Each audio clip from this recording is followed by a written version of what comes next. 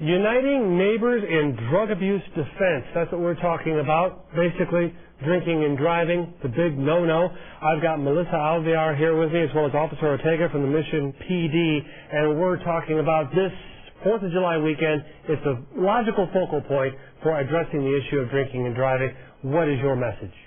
Our message, or the coalition's message, is if you are going to drink, make sure that you're not going to be on the streets. There's going to be a lot of other innocent people on the streets with their families having fun. Make sure it's somewhere safe and where there's not going to be no injuries mm-hmm. or harms to anybody else. And from the law enforcement end of it, Officer Ortega, it's it's just something you'd rather not have to do, I imagine.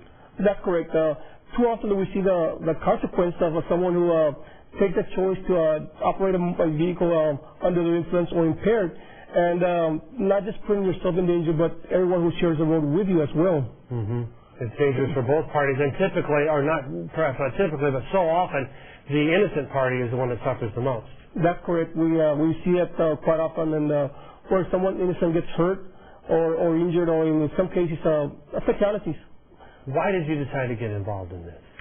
as I said earlier, it's a passion. It's something that, uh, as Officer Ortega said, it's a choice. There is a choice.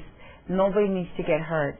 It's a choice to get behind a wheel, behind a car, or, or get into a car. It's a weapon once you're impaired and you have no idea what you're doing.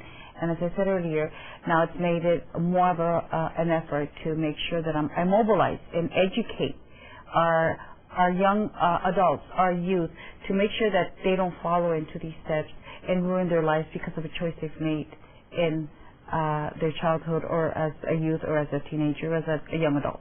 Now, maybe people don't know this, but as law enforcement, you are trained with special little tidbits on how to observe people and, and know what to look for in terms of drinking and driving, yes?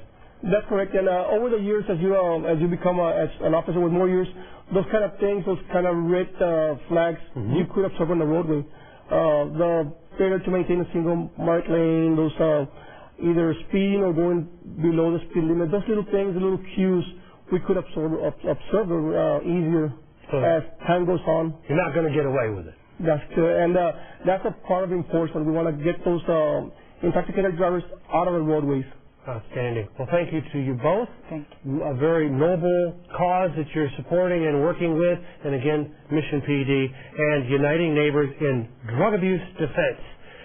Don't drink and drive this holiday, the three-day holiday. You've got plenty of time to stay at home or go to a friend's house and have a ball.